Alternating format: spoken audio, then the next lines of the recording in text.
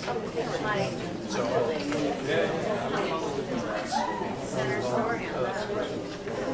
sitting in the a better welcome. Yeah, you'd like You're.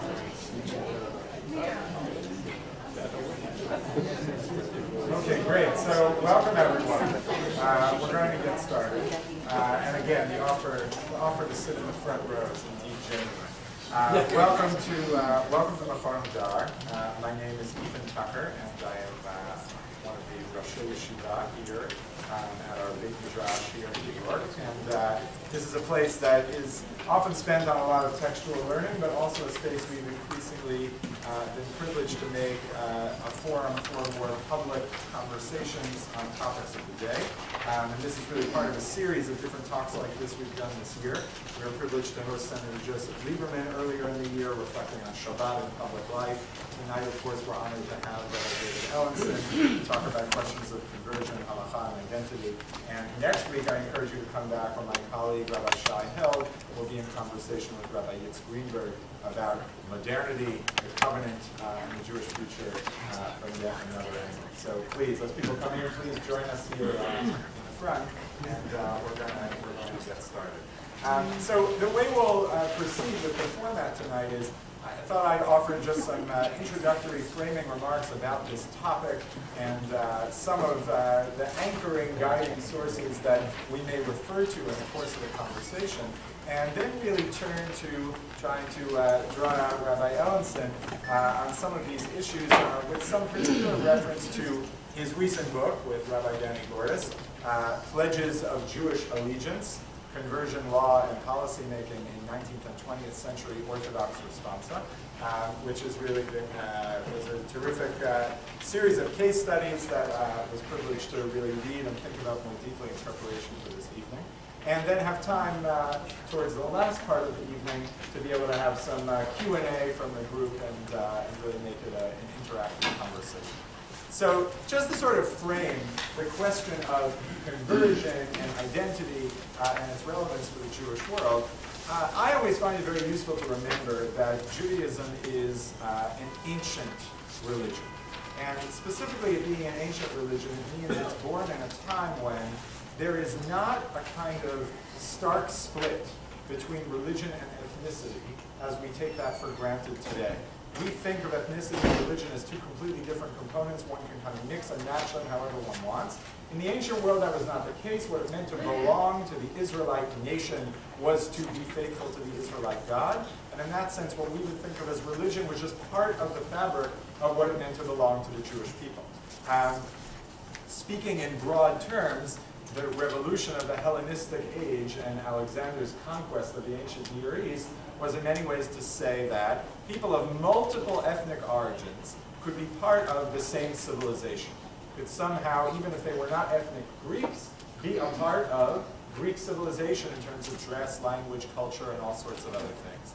In many ways, the rabbinic conversation, which we'll be talking about a lot tonight on conversion, stems as a kind of response to that challenge of in a world in which ethnicity and religion or culture become split, how does Judaism relate to what it means to be a Jew, and therefore by extension in some ways to become a Jew? Is it about somehow joining the body of Israel in some basic uh, carnal, fleshy way? Is it primarily about taking on religious dogma and practice? Is it some combination of the two? But in many ways, I think a lot of those conversations that have raged in the Jewish people throughout the ages are derivative of that fundamental identity crisis that being an ancient people plunged into post-antiquity uh, really presents before us. Um, and a lot of what we'll see and reflect on tonight is the legacy of that very complicated story. Uh, we won't go through all of these sources, but I have a number of sources here on the sheets in front of you, but I really just want to make reference to, and we may have occasion to go back to them, that really kind of lay out a lot of what is at stake here. And I kind of divided this up into just three basic sections. Um, one is kind of rabbinic reflections on standards for conversion, and how we think about the substance of what it means to come into Judaism.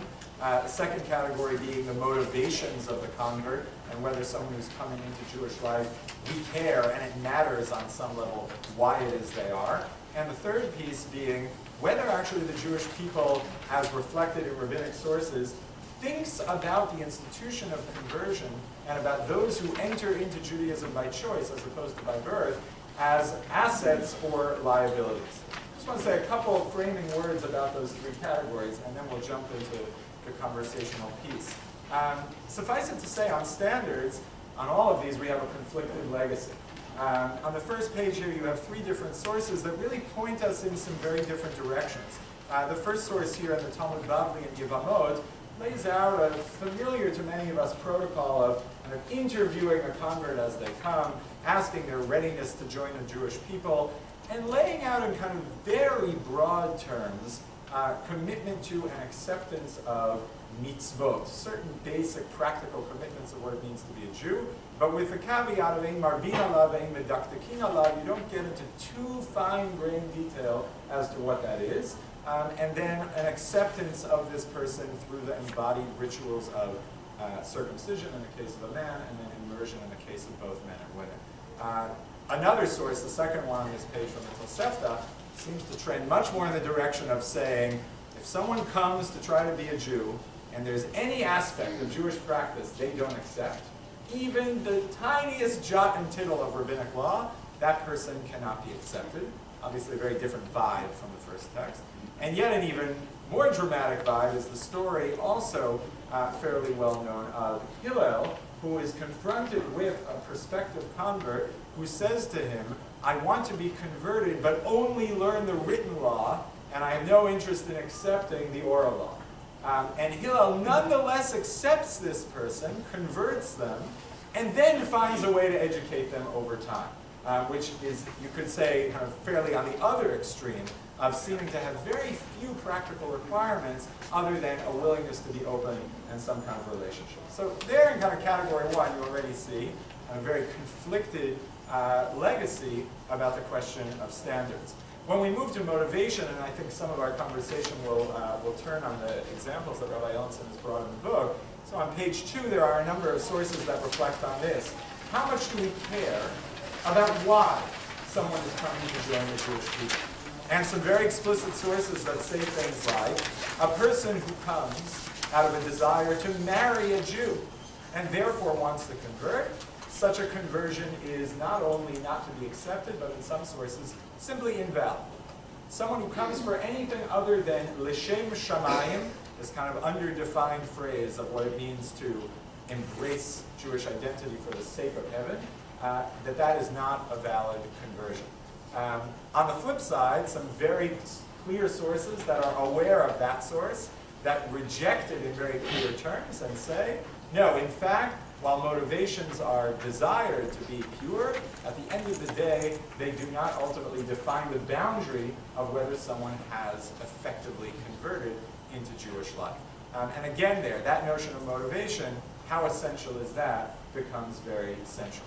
Uh, and finally, the last piece, which I think will reflect more in the conversation here, how do we think about, I think it's very hard to assess any individual rabbi's ruling on conversion without what's their broader take on sort of what Judaism has to say to the world. I think one of the things that, and, you know, and how, how desirable is it that people convert into Judaism, or how much is it sort of a fact that we're stuck with that is possible, but quite frankly, not something that we're interested in uh, as a people. I think one of the things that really uh, that kicks off this conversation in the book, which we'll come back to, um, which I hope will be the frame for our conversation tonight, is all conversations about conversion are ultimately conversations about Judaism. Right? We define through the boundaries that we set what does the inner space of that boundary that someone is crossing look like. So with that, I want to kind of turn to opening it up here. Um, and first maybe just ask you for a little bit of a, of personal reflection on this work, I think one of the things that's striking about this book is, first of all, it's very self-consciously limited to studying Orthodox responsa in modernity. Um, and as one goes through the book, one finds no shortage of uh, difficult to nasty things that are said about Reform conservative rabbinic authorities. I'd love to hear from you. How did you come to this? What kind of intrigued you about both the topics of conversion, specifically Orthodox responses, what is a tremendous leader in the reform movement doing, studying uh, these kinds of responses that are not always so complimentary.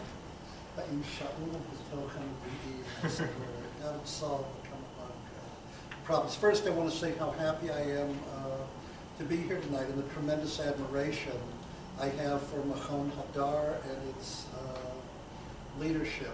Uh, I hope tonight that I won't use the term Gordon in speaking to you. Some of you may know That would be an honor. some of you may know that Ethan's father's a rabbi, but I won't uh, dwell on that. And we have connections that go back for many years. His roommate, when he was at Harvard, uh, was a young man, Doe Grossman, who is practically a nephew to me from Los Angeles, but I think even more significantly in, I think it was 1978, 79, when my oldest daughter attended the Solomon Schechter School in Boston. Uh, I actually drove his uh, future bride-to-be, Ariella, to uh, the Schechter School every day for, give or take, an entire year. She was in kindergarten at that point. She's since matured and become a wonderful attorney, graduate of uh, a law school. So if I'm a bit avuncular, I'll try not to. But I do want to say there's a long relationship. No, it, I mean, it is an interesting question how I came to write on this topic, and there are there are a number of factors. Um, one is, and I wouldn't minimize this, I did grow up in an Orthodox uh, background in the small southern city, Newport News, Virginia. Uh, when I was a boy, um, the town I grew up in, there were about six to seven hundred Jewish families. Knowing what I now know about Jews, I'm surprised there were only four synagogues. Uh, there was a synagogue that was Orthodox with a mechitza, synagogue that had a yeshiva university graduate, but had mixed seating. In fact, that rabbi was uh, Rabbi Mervis. His granddaughter is uh, a very popular writer of fiction, uh, Mervis. Uh, so there are all kinds of connections, but I knew her father well when I was uh, a boy. Uh, there was a conservative synagogue and, and a reform one. My family belonged to the Orthodox shul with a mechitza. Most of our rabbis were from Yisrael in Baltimore, and um,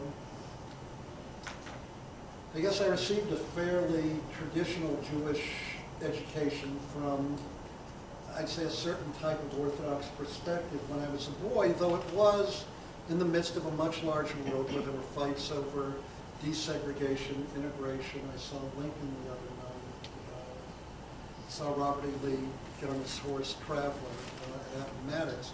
That did not lead me to uh, write a book on conversion, but it is to say that I grew up, as it were, in two cultural worlds. Um, I've actually never talked about this publicly, but I think I might tonight just for one moment. Uh, I have been married to my wife Jackie for over 30 years, but I was married once uh, before to a woman who converted to Judaism.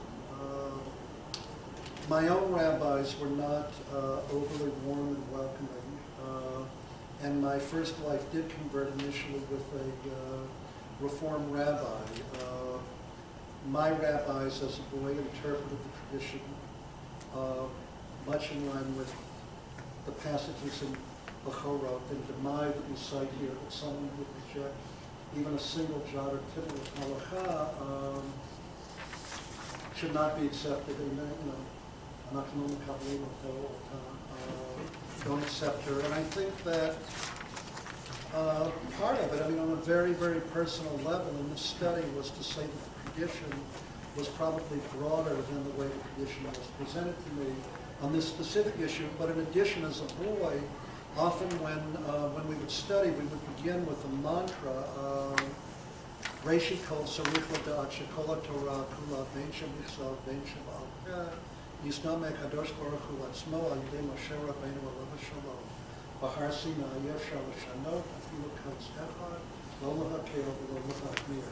First thing you need to know is that all of the Torah was given by God to Moses at Sinai, written in oral. It is impossible to change even a single jot or tittle, neither to be lenient nor to be stringent. And that was basically the attitude that most of my teachers took. Uh, as I became older and I began to study in a more critical way, um, I don't think I could affirm, in fact, I won't say I don't think I could affirm, I could not affirm that uh, catechism any longer uh, in my life. I say all of this because in some ways, and in terms of my scholarship in general, I don't, I don't know how to measure it precisely, but I would say 80% of what I write on deals with Jewish orthodoxy. Uh, my first book was on an Orthodox rabbi in Germany, Esriel Hildesheimer, who um, established the equivalent of Yeshiva University in Germany. And in subsequent years, I've written a great deal on this uh, topic. I say all of that because while I hope that my scholarship is as impartial and objective as it is possible for scholarship to be, I do recognize that the factors that have led me to study what I study represent, in many, many senses, uh, a personal chance for me to engage in what at this point in my life, I'm now 65, have been thousands of imagined conversations with different uh, teachers of mine in a very specific way. When I completed my doctorate at Columbia in 1982 or 83, there was a symposium at the Jewish Theological Seminary organized by Shaye Cohen on the issue of conversion to Judaism. There were many, uh, there were not many Orthodox Jews who were prepared to analyze this material in an academic way, and Ismar Schorsch, who had been my teacher, recommended me to Shaye Cohen, and I delivered a paper at JTS in 81, 82, 83 on the topic of Orthodox response on conversion. I discovered I had so much material that I ended up writing two or three academic papers. In the 90s, Danny Gordis did his doctorate at USC. He, I taught a seminar on an Orthodox rabbi named W. Hoffman and his academic writings. Uh, Hoffman was Hildesheimer's successor as head of the Hildesheimer Seminary in Berlin, uh, and his work in Melamed Leho'il. At the end of the semester, I just turned to Danny and said, you know, I've written a lot of stuff on conversion. You've written all of this material on Rabbi Hoffman. Probably wouldn't take more than two or three months. Why don't we just write a book on conversion? That was give or take in 1992. so now it's 2012. Finally in 2010, Danny and I just decided either now's the time, if not now, when. So we decided to finish it up. And I do think that in looking at this response, I love the way these people struggle with the tradition. I think it shows the tradition even when interpreted by Orthodox authorities who have identical theological views, read the tradition in various ways. There is no way to escape, in Gadamer's terms, a hermeneutical circle. And um, I think it does say a great deal about concepts of Jewish peoplehood and approaches to Judaism that these posts can take. One of the reasons we focus just on Orthodox thinkers here is that we also wanted a controlled variable. That is to say, these are all people who share, again, identical theological positions. Uh, and therefore, the fact that they read the tradition in multivalent ways, which is a reflection of the multivalency in the sources themselves, allowed us to uh, to look at this in a uh, in a controlled kind of way. But I would not deny that I have personal uh, conflicts that I still work out with my own approach to uh, Jewish tradition. Thank you for sharing that. Let's. I'd actually like to pick up on that point of, you know, taking a controlled experiment of uh, you, know, you might have three different rabbis who might, in theory, think a similar way, but then put into different environments uh, have a different reaction. Um, the book, for those who haven't read it, is sort of organized around different times and places. Uh, so you have a chapter on Western Europe, a chapter on Central Europe coming uh, into modernity, uh, and there's a chapter in particular on the United States and Europe in modernity. And in that chapter, um, say the, the organizing principle around a lot of your analysis uh, borrows from Charles Liebman and his yes. theories of how a person, particularly a rabbinic authority, um, responds to a question depending on how, how much obligation and responsibility they feel they have for what kind of constituency. Um, so, you know, in broad terms, I, you can tell me if this is fair, but in broad terms, essentially a rabbi like Rabbi David Zvi Hoffman in Germany, who still felt very much plugged into the Gemeinde, the kind of uh, community uh, Jewish corporate reality, uh, had a certain kind of obligation to the entire Jewish people that made him uh, respond in one way, as opposed to, let's say, I think the most prominent example you gave of this sort, uh, Rabbi Moshe Feinstein here in the United States, who's dealing with a completely, totally voluntaristic orthodoxy in an America that in no way structures or controls the Jewish community, kind of has the leeway to preach to the choir uh, in a way that uh, Rabbi Hoffman maybe doesn't. What I was wondering if maybe you could reflect on a bit is, um, I wonder if that, how much is that a product of modernity, certain kinds of modernity? Do you think in some ways that that was true in antiquity as well? I think one of, one of Shaye Cohen's lines, as you mentioned, and it's one of my favorite lines, is we have a great affinity often for the classical sages because uh, they lived in a pre-rabbinic world and we lived in a post-rabbinic world, right? A sense in which the medieval world was the heyday of Jews being forcibly bound in this political alignment. I'm wondering how much of this is a story of modernity and how much is it a story of just not the medieval times? Boy, that's a good, uh, that's a good question. Uh, Meaning I don't have an exact answer for it at this moment, I'm reflecting on it as I speak to you.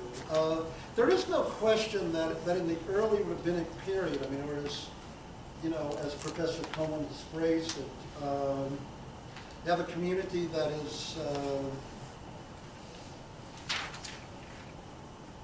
in the process genuinely of formation and lots of interactions with the larger world.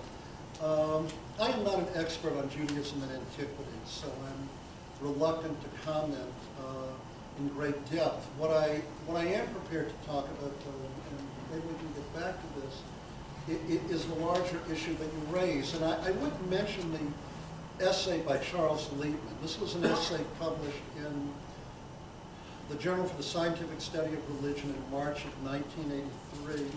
It's entitled Extremism as a Religious Norm.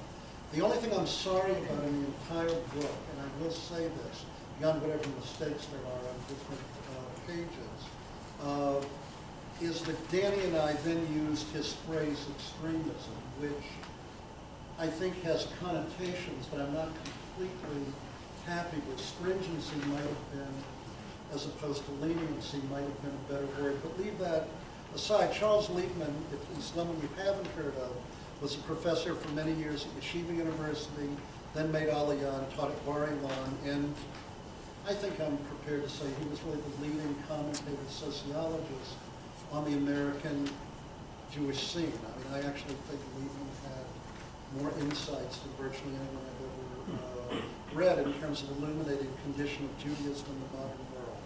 He puts forth a thesis in this article, Extremism as a Religious Norm, which goes as follows, and it does relate to the Middle Ages uh, as opposed to modernity, and I do want to get to Hoffman and Feinstein. Basically, his point is that religious leaders, by definition, have an natiya, they have an inclination to be, in quotes, religious. That's not surprising. And that religious leaders left to their own devices would almost always tend towards stringency or greater spirituality in their own life.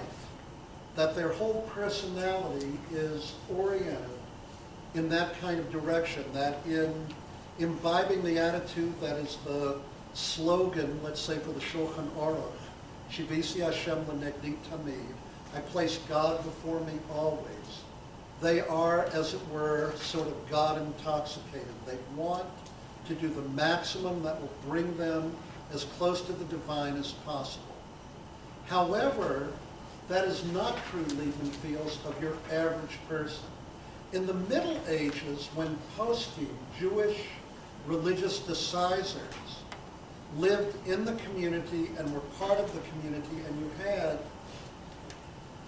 as Ethan just pointed out, as Rabbi Tucker pointed out, a kahila or a gemeinde, a communal organization. The rabbi had to poskin, had to issue halachic decisions for a broad variety of behaviors.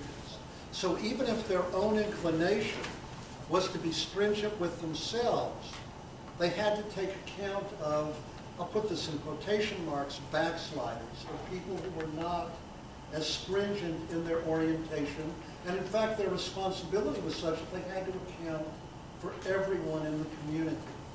This led these people quite often, according to Liebman's thesis, to be stringent in their personal life, but perhaps lenient in the rulings they issued.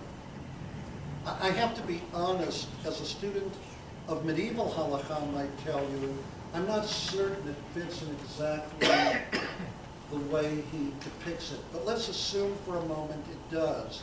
His thesis was that in the modern world, and particularly in North America, where you no longer have a Gemeinde structure, you no longer have a communal structure, rabbis in the world we live in do not have coercive political authority, and everyone, by the way, is able to make Shabbos for themselves. I mean, we didn't talk about it in the book, but the Reform movement can make a decision on patrilineality for its constituency and not particularly worry about what Orthodox members of the community do or do not feel. In other words, the Liebman thesis can apply in both directions. But Professor Liebman's point is that in general he felt that in looking at the rulings of Orthodox authorities, Orthodox authorities who viewed themselves as rabbis for the totality of the Jewish its observant as well as non-observant elements, tended to rule leniently in a whole host of areas, as opposed to people who viewed Jewish peoplehood principally in terms of observance of mitzvot, of Jewish religious commandments, and because they were issuing piskei din, because they were issuing decisions, basically only for an Orthodox constituency that would accept their rulings that in fact it allowed or freed people to be either lenient or stringent. So when you mentioned Rabbi Hoffman, Rabbi Hoffman lived from 1843 to 1921. He, he was an incredibly great scholar. I mean, it would be difficult to exaggerate how much Rabbi Hoffman knew. He grew up in Hungary, and he became involved, nevertheless, in modern life. He received his doctorate from the University of Tübingen in Germany. He wrote a doctoral dissertation on um, Rav Samuel, and he wrote on the concept of Dina uh, Malchuta Dina, the law of the land is the law. He was a modern scholar.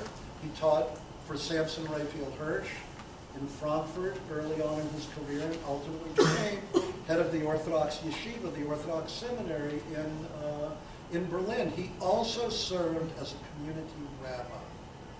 He was dealing with people constantly in his life. When you read his corpus on conversion, you can tell, in all honesty, in my opinion, that he's seldom comfortable with the ruling he issues. And by this I mean the following. In the best of all possible worlds, he would say that anyone who wanted to convert to Judaism should agree to observe all of the mitzvot. But he recognizes the reality of the larger Jewish world, and he even uses the phrase in one of his b'miyuto, said, I have to keep, in quotes, and these are his terms, the evil to a minimum. People are intermarrying, but they are still participating in the community. He is engaged in what I would call constituency retention. He wants to bring people in, and he issues any number of rulings. In one instance, it's unclear whether someone is or is not Jewish. He wants to engage in Kabbalat ol mitzvot, in an acceptance of the yoke of the commandments. The person it's not clear if he's really matrilineally descended. He would rather the person undergo a process of conversion. He instructs his student and says, what should I do? I know this person isn't going to be observant. He says, well, you need a hota atam mitzvot. You need to inform him of the commandments. Ask him the following. And these are the exact instructions he gives. He says, ask him, does he believe that you should honor your father and your mother? If he says yes, ask him another question. Does he believe you should love your neighbor as you love yourself? If he says yes to both of those questions, just perform the conversion. You've performed Kabbalah mitzvah, the acceptance of the yoke of the commandments. He doesn't say to ask him about Shabbat. He doesn't say to ask him about Kashrut. He doesn't say to ask him about Nidah in a very moving Shuvah. He deals with a woman who wants to convert. This is one of my favorite in the whole corpus of literature. He, um, there's a woman who's non-Jewish, married to a Jewish man, and she gives birth to a baby who dies uh, in the first month of life. The baby has been circumcised. She now wants to be converted to Judaism. So in quote, she can be buried in the Jewish cemetery with her son. But from the standpoint of halakha, what's the challenge or problem? For those of you who undoubtedly know the Gabriel Lawson conversion. Is the baby actually Jewish? No, why not? Non-Jewish mother, the baby has been circumcised, but the baby has not been taken or had not been taken to a mikvah. Rabbi Hoffman writes, he said to his student who's asking him the question, what should I do with this? He said, you have to bring the woman to you, and you have to talk to her. If you can, try to explain to her that circumcision is what one might call an enabling act. It is an act that's necessary to formally convert the child to Judaism, but that without tevilah, without mikvah, the baby is not Jewish. But he said you have to really watch this woman. If you see, and these are the words in Hebrew, shehitish tagea, if you see that her distress over the loss of her baby is such that she will become insane, just do the conversion. Just do the conversion. The point I would make here is that someone like Rabbi Hoffman is dealing with a large number of Jews. He is a great scholar, very learned. He has a woman before him that he sees in flesh and blood. And he makes the decision to frankly postum issue a halachic ruling that would not be strictly speaking in keeping with the most stringent demands of halakha. In contrast, someone like Rabbi Feinstein, by and large, is most of the time teaching right down on the Lower East Side in yeshiva. For the most part. I don't want to... Feinstein is a complicated kind of character. But we now live in a world where many of the poskim not only most of the where decisors are making decisions only for those who will follow their decisions. But in addition, they're not really dealing or meet people, for the most part, who are actually non-observant, who nevertheless participate in what, what, might, what one might call the larger fading life of the Jewish people. I think the Liebman thesis would argue that this is part of what leads to greater stringency. By the way, Rabbi Feinstein, commenting on Rabbi Hoffman's rulings in several cases, just says, I read what Rabbi Hoffman wrote, I need I'm astonished that he would rule in this way. The point I guess that I would make is that both of them are basing their decisions on halakhic precedent, which be happy to go into. But you can't escape whatever I call it here, not only the time and place, but the individual psychology of what it is that moves someone when they're when they're about to make a decision. By the way, this isn't unprecedented in Jewish law. This isn't our topic tonight, but one could do a paper looking at the Rambam, Maimonides' halachic rulings, as opposed to the way in which he codifies law in the Mishnah Torah. There are at least a dozen times, I don't know how else to say this, where Maimonides rules against himself. I mean, that is to say that in his responsa, when asked to issue rulings, it runs counter to the halakha as he himself has codified it in the Mishnah Torah. For example, Rabbi Tucker mentioned before that classically you're not permitted to do a conversion for someone who comes for the sake of marriage. And based on a passage in Yevamot 24b, if a You have wo- on the sheet. Oh, you have on the sheet, good, okay. I can't read without my glasses. Uh, so I'm glad it's there. If I miss misquote it, let me know. But it's based on the passage in Yevamot 24b, if an individual has a shivcha, has a maidservant, and she then converts to Judaism, he's not permitted to marry her. Halachically, I won't get into all the reasons or justifications why here, But what's interesting is Maimonides, in a real-life case where this occurs, says, yes, convert her to Judaism and perform the marriage.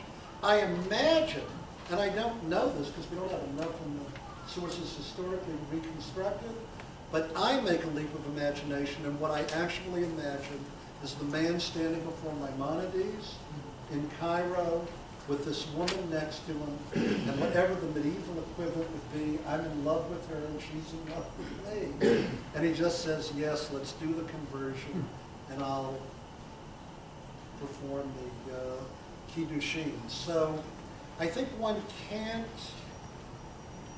completely ignore whatever that human psychological component is. And I do think the book points to that. I won't say that it's a definitive conversation, but it does bring up the whole issue of whatever the personal psychology of the posek. So let me just push a little on the kind of combination of the psychology and the Liebman thesis, because the thing that immediately comes to mind, and where you have a whole other chapter in the book on this, is, uh, of course, Israel would seem to be Yes. uh, the forum in which the Liebman thesis that the more responsible you are to more people, Good. the more kind of practically oriented your conclusions would be, would play out in spades. Yes. And yet, if anything, I think a lot of us now, when we see even you know the word conversion and Jewish identity on a poster today, right, the first thing we think of is a conversion crisis in Israel, the X number of hundred thousand people from the FSU, um, and one of the things that was striking me actually in reading that chapter was I felt uh, I felt that you and Rabbi Gordis were, worked very hard to kind of make a, a coherent thesis of what was going on in Israel, and in some ways, it seemed like a lot of people reacting to uh, the power that the state kind of affords and you know the megaphone it sort of puts up to people who are having these conversations. Um, but in some ways in very haphazard ways, right? Clearly having people who have enormous amount of responsibility to on some level the entire Jewish people, Yeah. nonetheless responding to that with sort of versions of uh, another text that, uh, that we have on here about in the days of David and Solomon, no converts were accepted, and when the Jewish people enjoy sovereignty and power on some level, anyone who's coming to join them has to be treated with suspicion. And others like Rav Uziel, the first Sephardic chief rabbi, his take on that is exactly in line with the Liebman Yes. thesis. He is sort of like, we have to make sense of this. So, so what do you think? Do you read that as, is that either a total repudiation of the thesis and maybe what you're articulating now as the kind of almost psychological disposition of the posek is actually prominent? Or is there another dynamic? Maybe, you know, responsibility is one thing, but bureaucracy functions in a different way. I- I'd love to hear I'm only smiling here because I, I don't know, all of a sudden I was thinking of, uh, I don't even remember if I have her name right, Rosanna Rosanna, yeah. On Saturday Night Live, like, whoops, you know? Yeah, well, that thesis doesn't really work as well in Israel. Uh, and in fact, it, it sort of astonishes me that it doesn't. One would anticipate that in Israel, where people are responsible, the rabbis there for an entire society of observant and non-observant people, you would expect what you get in the early years of the state of Israel, so that Rabbi Tucker mentioned uh, Rabbi Uziel, the first chief Sephardic rabbi, who was unbelievably lenient. And in fact, there's just a brand new book uh, that at least 10 of us are interested in, maybe 100, written by Zvi Zohar. Uh, uh, Below Yidach Mimenu Nidach, uh, which deals with Rabbi Uziel's rulings on uh, conversion. Zvi Zohar is professor at Hartman and Bar Ilan, and uh, just appeared in Hebrew, frankly, about a month ago. Uh, and Rabbi Uziel is probably one of the most lenient poskim on the issue of conversion in the history of the uh, of Jewish jurisprudence. In fact, he and Rabbi Hoffman, their rulings are very uh, very similar to one another. But quite clearly, he feels a sense of responsibility towards the totality of the Jewish people, and he uses the precedents like the one in uh, the Bavli and Shabbat, uh, or the one in Menachot with Rabbi Chia, to, to really bring people in virtually in every uh, instance. What's interesting is you have a whole history in Israel. People like the chief rabbi Unterman, when you had a large Russian aliyah, even the 70s, also ruled very, very leniently. It fits in exactly with the Liebman thesis. It's exactly what you would expect And um, frankly, Rabbi Goren, who wasn't always so lenient, on conversion in Israel, for a whole variety of reasons, Rav Goren tended to be uh, fairly lenient as well, but he based it, Rabbi Goren, not on these passages in the Talmud Bavli, but there is a passage in the Talmud Yerushalmi, the Jerusalem Talmud, Masachet Gerim, that says, Eretz Yisrael Machsheret Gerim. The land of Israel, how did he translate it? He must translate it in the book. Eretz Yisrael Machsheret Gerim. Eretz, the land of Israel is conducive to conversion. It likes conversion. It makes converts kosher. And Rabbi Goren argues in a whole host of cases that uh, when someone comes to live in the state of Israel, they have wed themselves to the destiny of the Jewish people. And consequently, he is incredibly lenient, and he accepts people, and frankly, lenient here means that people don't accept Taryag mitzvot. The, the problem with the classical halachic definition, and here I do make a judgment, is that it's very narrow. To be a Jew classically, and this goes back to one of the points you made at the beginning, Ethan, classical Judaism asserts that someone is Jewish in two ways. They either are born of a Jewish mother, Judaism has a birth dogma, an ethnos, peoplehood, however one would want to understand that, or someone who was formally obligated to observe seven commandments, the Sheva Mitzvot B'nai Noah, as a non-Jew, all humankind, according to the Jewish tradition, is obligated to observe the seven Noachic commandments. A person who was formally obligated to observe seven commandments is now obligated to observe 613. Conversion here is understood in a narrow religious sense, and a person who will adopt this, in theory, can be brought into the Jewish people. But the reality is that we see how it is that people live. We begin our book with a story, which isn't unfortunately uncommon, with a young man born of a Russian non-Jewish mother and a Jewish, Russian Jewish father who serves in the IDF, the State of Israel's Defense Forces, who dies defending the right of Haredi rabbis who will deny his Jewishness uh, in defense of the State of Israel. And he can't be buried in 1993 in a Jewish cemetery in Israel. This irritates many Israelis because they would say, not in a formal way, there's been a tevilat eish, as it were. There's an immersion by fire. This man has come to live in Israel, He speaks Hebrew, he lives as a secular Jew, he fights in defense of the Jewish people, who al hamishmar, he's on guard for the Jewish people. Rabbi Goren felt that there were halachic sources that allowed this person to convert. By the way, Rabbi Goren on his Dot Gerut, on his conversion certificates, would write this conversion is valid only in the state of Israel. By the way, there is no halachic precedent. But you do have the interesting case where you had one individual who converted, he moved to England. I don't think we discuss this in the book, but this is a real case. Yeah, you mentioned. Oh, we do mention the book. I don't know what I wrote anymore or not. It's fascinating and gripping, every word. It's a good read, it is a good read. But, but in any event, this person then goes to move to England. The family wants to send their children to an Orthodox yeshiva, and they present the Te'udah, the certificate of conversion, signed by Rabbi Goren, and the response given is, this isn't valid in England.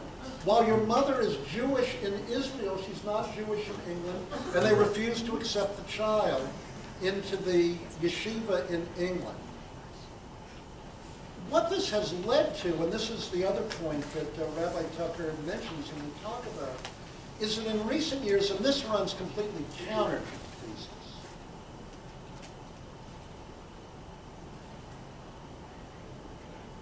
The Orthodox rabbinate in Israel that is charged by the state with enforcing laws of conversion has issued rulings that I would say, this I don't say in the book, but I would say to you here tonight, that I think rank among the cruelest in the whole history of Jewish jurisprudence.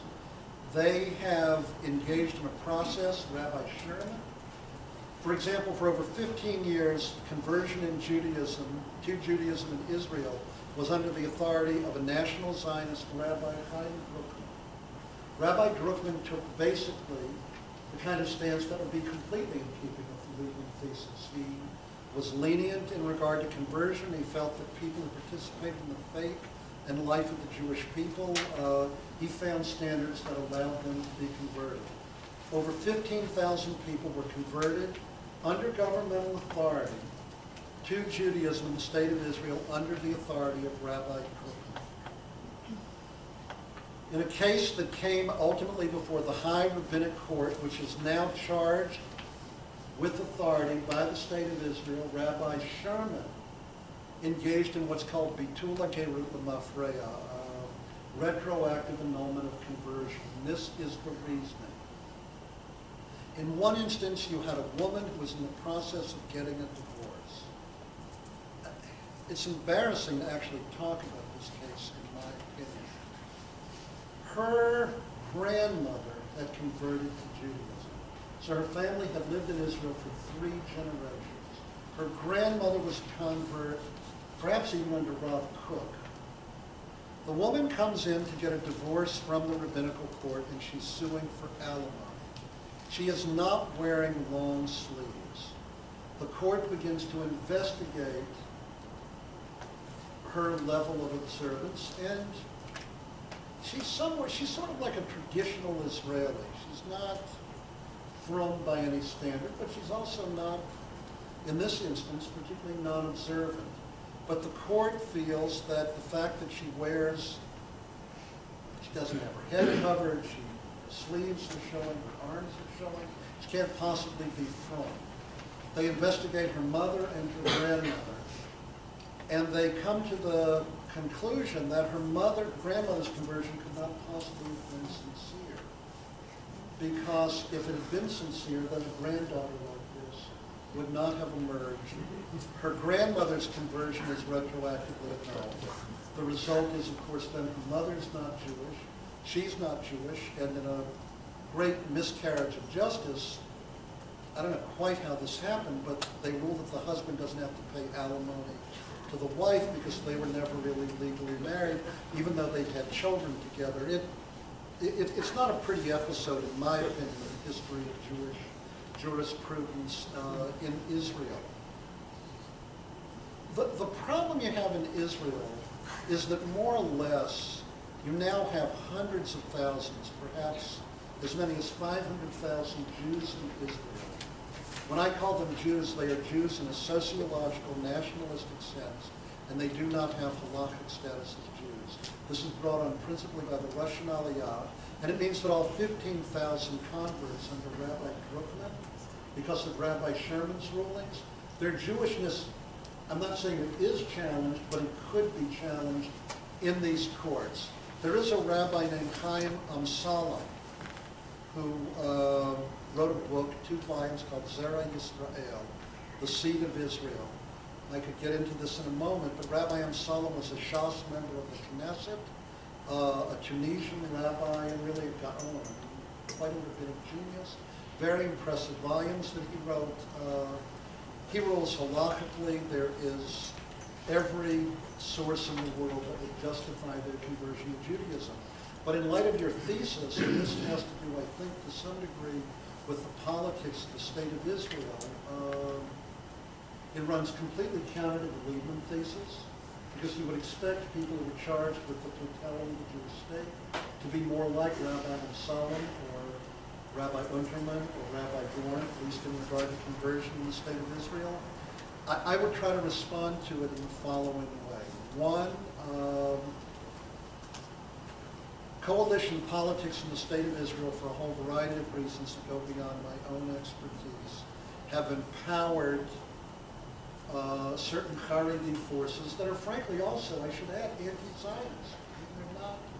I mean, th th there's a great irony here that some of the chief rabbis of the state of Israel have actually not been Zionists, uh, meaning uh, they don't ascribe any religious worth or meaning to the state of Israel at all.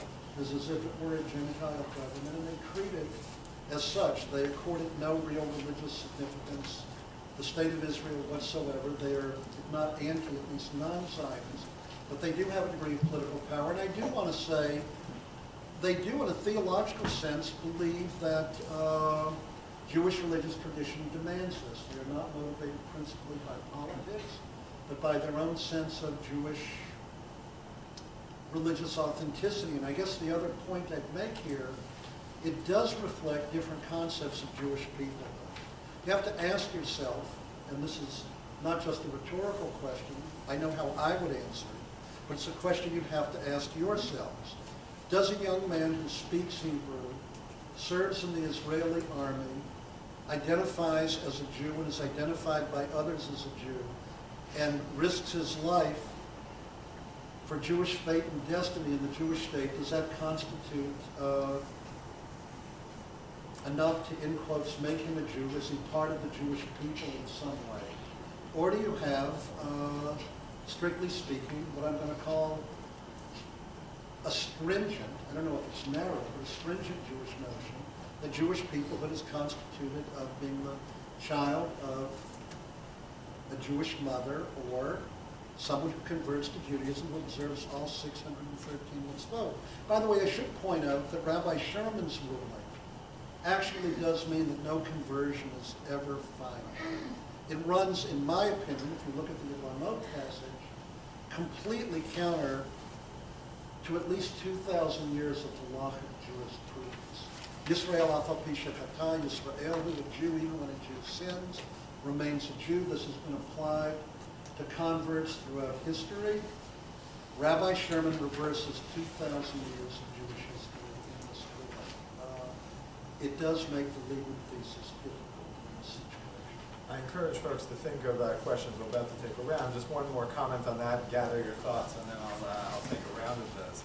Um, I think I hadn't thought of it before. I think it's very interesting the notion that actually Israeli coalition politics um, actually can often empower uh, a party that doesn't actually self-conceive as it taking responsibility for the whole. Yes. Right? And then one of the things, let's say someone like Rabbi Goren, very much he conceived of himself as having kind of responsibility for the whole project. Yes, by the way, I do want to point out that all the earliest chief rabbis of Israel, Goren, Unterman, Rabbi Herzog, Rabbi Uziel, they were Zionists.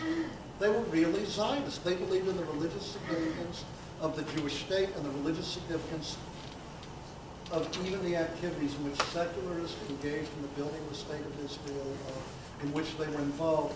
You have chief rabbis now who, because of coalition politics, actually are not Zionists for a whole variety of reasons. Right, right.